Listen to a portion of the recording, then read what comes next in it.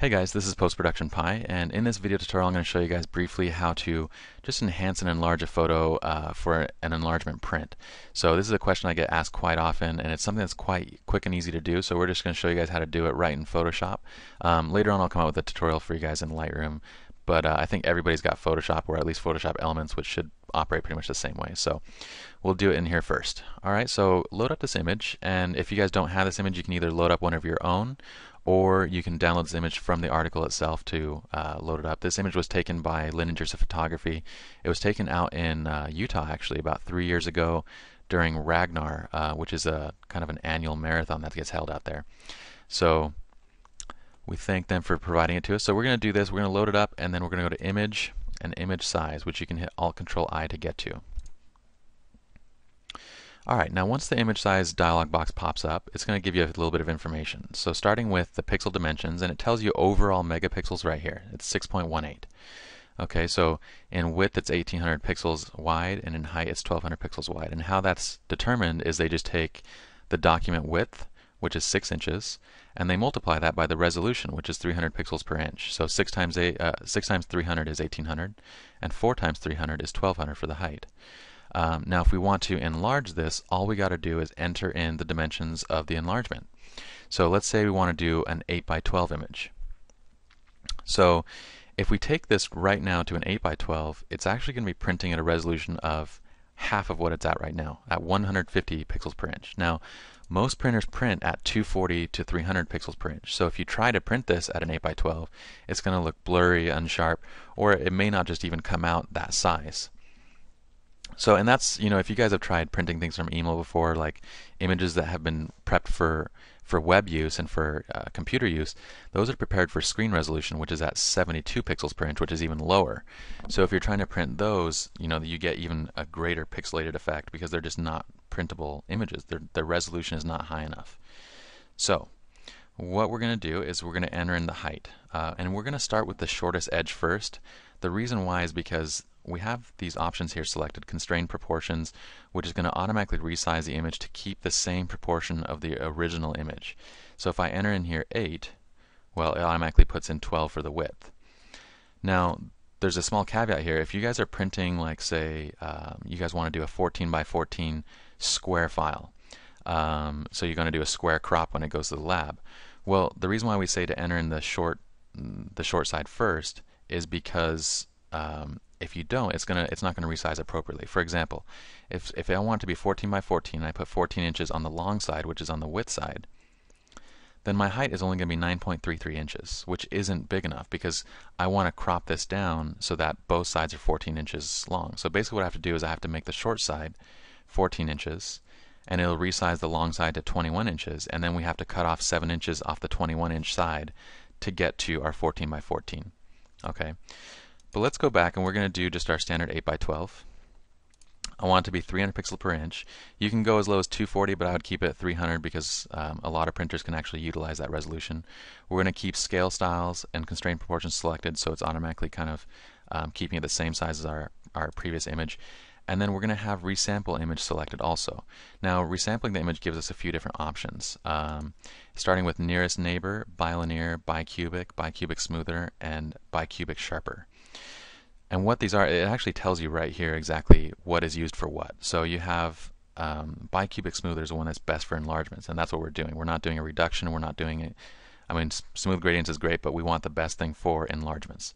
So we're going to select the bicubic smoother. And what Photoshop is going to do is it's basically going to enlarge the image, and because there's not the original image is much smaller than the intended image, it's going to basically extrapolate the additional pixels that are needed to enhance the size. And Photoshop does a great job of this. So we're going to hit OK. Okay, now it's in it's enlarged my image. Now the next thing I need to do is to actually enhance and sharpen the image so that it comes out nice and sharp on an 8x12 because originally this was prepared for a 4x6. So what I'm going to do is I'm going to have you guys go down to the bottom left of the screen in this preview window, it shows us the size that we're previewing right now. Now, I can zoom out to be able to see the entire image, which shows me I'm at 23% right now. But what I want to do is I want to see a pixel to pixel preview. So I'm going to enter in 100%. Now, this is not showing the actual uh, print size of the image because if it were, this would actually be a huge image. It's actually just showing a pixel-to-pixel preview of the image. Okay, but this view is great because it allows us to see the sharpening up and uh, close on a pixel-to-pixel preview so that we can kind of decide exactly what we like. So now we're going to go to the sharpen. I'm going to go to Filter, Sharpen, and we're going to choose the Unsharp mask. And you guys may be wondering like, okay, we're choosing sharpen and every option in here says sharpen, sharpen, sharpen, sharpen, except for one says unsharp. Why is it unsharp? Well, the unsharp mask is actually named after um, after basically what was done on film to create this effect. Basically on, on film, uh, how we used to sharpen images. If you guys have used film before, you'll know this. If you guys haven't, well, what we used to do is basically take a digital negative and we'd reverse that negative into a positive and make it blurry. So we'd unsharpen the negative into a blurry positive. And then you layer that blurry positive back over the negative so it becomes a mask. Um, and then what happens is the blurry areas on that positive cancel out and the other areas act to create kind of an enhanced sharpened version of the original image. So you're essentially unsharpening it, creating a positive, and then masking it back over. So it's called an unsharp mask. That's a little bit of history for you guys, so you guys can actually know why it's called that. But don't you know don't be fooled. It is actually what I like. It's the best. You know, I, I think it's the best tool in, in Photoshop to sharpen images. So I use it the most often. Now, in this little preview dialog box, it'll actually show you the image, and you can click wherever you want to see if you want to quickly go to a specific area. But because on the left side we already have a pixel-to-pixel preview here, um, we can see the entire thing in our window. As long as I have the checkbox checked, we'll see the changes that we're making right in the main window. So the, the little preview right here isn't as useful. Okay, so let's go over these options. Amount is really simple to understand. Um, amount is basically strictly the, the strength of the effect that we're applying based on these other options. Um, radius is talking about how far out from each edge in pixels do you want the effect to go.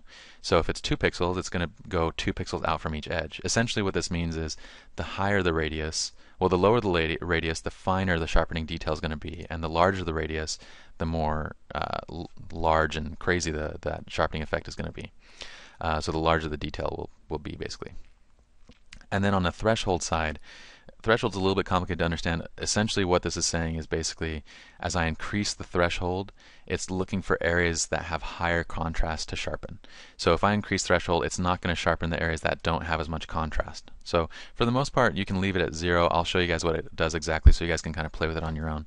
We're going to start with here with just popping in a number into the amount because if we don't have at least like you know 25 to 75 percent in the amount we're not going to see anything that we're doing below. So from there I'm going to actually start to increase the radius pipe pixels. And what we want to avoid here is we're going to do and this is you guys will notice that this is all done by eye. Um, some people will have certain preferences. They want things to be sharper than others. So this is kind of a matter of preference. What you do want to avoid is harsh sharpening lines which are created when you increase radius too high so already I've gone too high you can see those black edges that are being added around everything.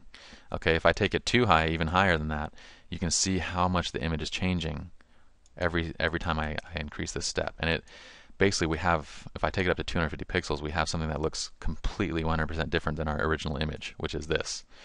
Okay, so typically you don't want to go too high, and and I, I think for this image, around three pixels is about what I want. About th above three, I start seeing the black line start to appear around his head, and I want to avoid that. Then from here, I'm going to adjust the amount. Now the amount uh, of the effect is just, again, it's uh, talking about the strength. So I think right around 80% is about where I want it. If I go too high, again, that sharpening effect, look how crazy that is, okay? Um, if I go too low, it becomes way too soft and there's really not an effect at all. So I'm going to go right around 80%. And now, like we talked about earlier, the threshold is going to basically say, okay, the higher you raise your threshold, it's going to look for areas of higher contrast to effect first. So as I take this up, you can see that basically the areas like around here where in, the in the grass and in, in the uh, flowers and stuff where there's not as much contrast um, the sharpening effect is much much lighter. Areas where there's more contrast like along his white shirt against this white back or uh, against this darker background has a much higher contrast level so it's actually sharpening that area more. Um, I kind of like to leave this just at zero. I kind of want the entire image to be affected the same. So I'm gonna hit OK